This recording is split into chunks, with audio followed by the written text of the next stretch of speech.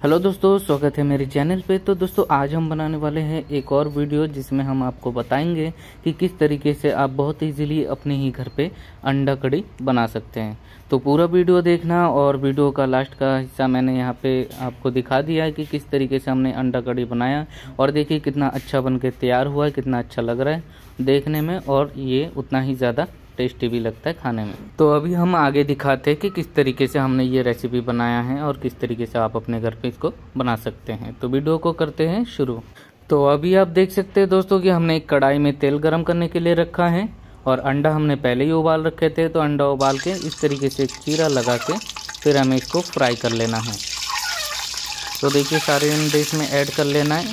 उसके बाद थोड़ा सा हमें इसमें हल्दी ऐड कर लेना है और फिर थोड़ी देर इसको मिक्स करके कुछ टाइम तक इसको फ्राई कर लेना है। ज़्यादा टाइम इसको फ्राई नहीं करना है।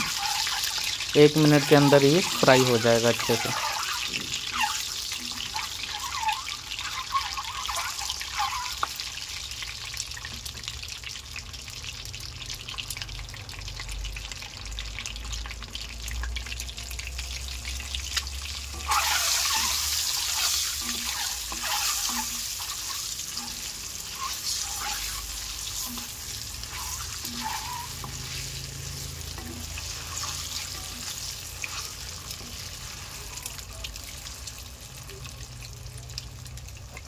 तो दोस्तों, अभी आप देख सकते हैं हमारा अंडा अच्छे से फ्राई हो चुका है और अभी हम इसको निकाल के अलग से रख लेंगे।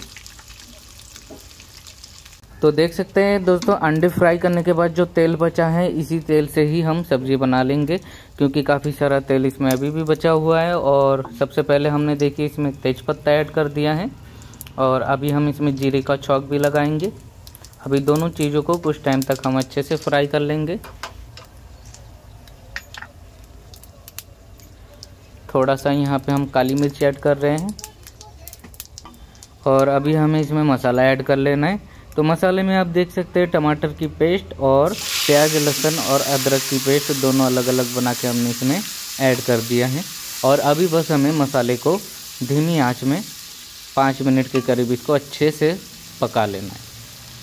तो देख सकते हैं, सारा हमने तेल में ऐड कर दिया है। जीरे की छौक हमने पहले ही लगा दिया था।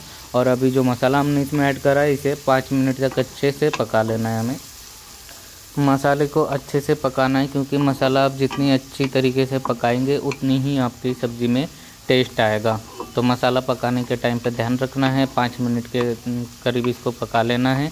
अगर मसाला सूखने लगे तो थोड़ा थोड़ा पानी इसमें ऐड कर सकते हैं, और मसाले को दोबारा से मिक्स करके कुछ टाइम तक और इसको पका सकते हैं। तो अभी देखिए कितना अच्छा उबाल आया हुआ है। तो दोस्तों, काफ़ी टाइम हो चुके हैं मसाला पकाते हुए और अभी थोड़ा सा हमें इसको मिक्स कर लेना है और उसके बाद इसमें हमें मसाला में ऐड कर लेना है, जैसे हल्दी, नमक, धनिया वगैरह, ये सारी चीज़ें हम इसमें ऐड कर लेंगे। तो सबसे पहले हम इसमें आधी चम्मच धनिया पाउडर ऐड कर रहे हैं। तो देख सकते हैं, आधी चम्मच हमने धनिया पाउडर ऐड कर दिया है और इसके बाद फिर हमें इसमें हल्दी ऐड करना है। तो हल्दी भी आप देख सकते हैं। आधी चम्मच यहाँ पे हमने हल्दी लिया है। हल्दी भी हमने ऐड कर दिया है। थोड़ा सा मिक्स कर लेना है दोनों चीज़ों को। और फिर इसमें पड़ेगा लाल मिर्च पाउडर और नमक। तो पहले इन दोनों चीज़ों को अच्छे से मिक्स कर लेना है और उसके बाद फिर हम इसमें लाल मिर्च पाउडर ऐड करेंगे। तो अभी देखिए हमने एक चम्मच लाल मिर्च पाउडर ऐड कर लिया है। थोड़ा सा लाल मिर्च पाउडर हमने और ऐड कर दिया है तो आप अपने स्वाद अनुसार सारी मसाला वगैरह ऐड करना है आपको। जैसे हम ऐड कर रहे हैं, उस तरीके से नहीं। आपको जैसा रखना है, सब्ज़ी बनाना है, जिस तरीके से वैसे ही आपको ऐड करना है। तो यहाँ पे आधी चम्मच हमने नमक ऐड करा है और अभी इन सारी चीज़ों को हमें मिक्स कर लेना है।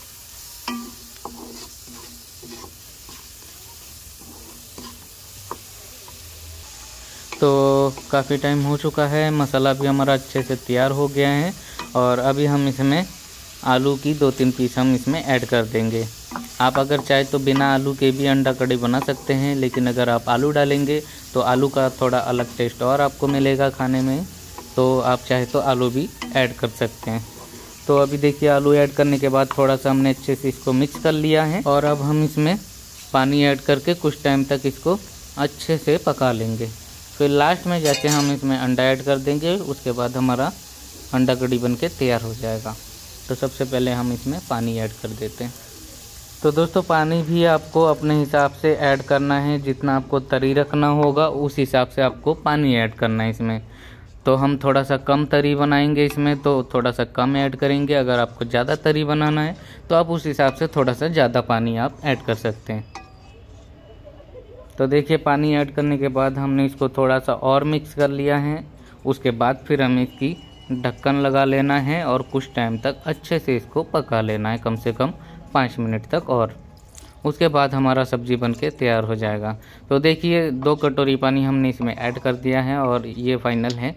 इतना ही पानी हम इसमें रखेंगे और इसमें हमारा अच्छा खासा तरी बन के तैयार हो जाएगा। तो अंडा भी एक बार में हम ऐड कर रहे हैं। आप चाहे तो सब्ज़ी बनने के लास्ट में भी ऐड कर सकते हैं। दोनों ही तरीके से आप अंडे को इसमें ऐड कर सकते हैं। और अभी देखिए, हमने तरी वगैरह सारा कुछ जितना हमें बनाना था, उतना हमने रख लिया है पानी ऐड करके। और अभी ढक्कन लगा के हमें पाँच मिनट के करीब अच्छे से इसको पका लेना है। तो दोस्तों, पाँच मिनट पूरे हो चुके हैं और अभी देखिए, हमारे सब्ज़ी में कितना अच्छा उबाल आया हुआ है और सब्ज़ी भी हमारा लगभग बन के तैयार हो गया है। थोड़ा सा बस हमें और पका लेना है ढक्कन निकालने के बाद और इसी में अभी हमें धनिया पत्ता भी ऐड कर लेना है। तो धनिया पत्ता भी हमने छोटे छोटे धनिया पत्ता हमने काट लिया है और अभी हम इसमें ऐड कर देंगे। उसके बाद हमारा सब्ज़ी भी बन के तैयार हो जाएगा। तो देखिए दोस्तों, धनिया पत्ता भी हमने ऐड कर दिया है और अभी हमारा सब्ज़ी देखिए कितना अच्छा लग रहा है बन के तैयार हो गया है और खाने में भी बहुत ही अच्छा लगने वाला है सब्ज़ी हमारा। तो इस तरीके से आप भी अपने घर पे अंडा कड़ी बना सकते हैं बहुत इजीली तो दोस्तों, वीडियो कैसा लगा कमेंट करके बताना। अगर वीडियो पसंद आए तो वीडियो को लाइक कर देना और अगर आप चैनल पर नए हो तो चैनल को सब्सक्राइब करके बेल नोटिफिकेशन को ऑल पे सेट कर देना, जिससे कि हमारे आने वाले वीडियो की नोटिफिकेशन भी आपके पास पहुँच जाए। क्योंकि ऐसे ही मज़ेदार और इंटरेस्टिंग वीडियो हम लाते रहते हैं, जिसका आपको नोटिफिकेशन मिलता रहेगा। तो दोस्तों, देख सकते हैं फाइनल लुक कुछ हमारा इस तरीके से बन के तैयार हुआ है सब्ज़ी। जिसमें आप देख सकते हैं हमारा सब्ज़ी कितना अच्छा लग रहा है और खाने में भी कितना अच्छा ये लगने वाला है। तो चाहे आप चावल के साथ खाएँ या रोटी के साथ खाएँ, दोनों के साथ ही आप खा सकते हैं, इसलिए हमने थोड़ा सा सूखा सूखा बनाया था सब्ज़ी। तो थैंक यू दोस्तों वीडियो देखने के लिए। मिलते हैं फिर ऐसे ही एक नेक्स्ट वीडियो पे।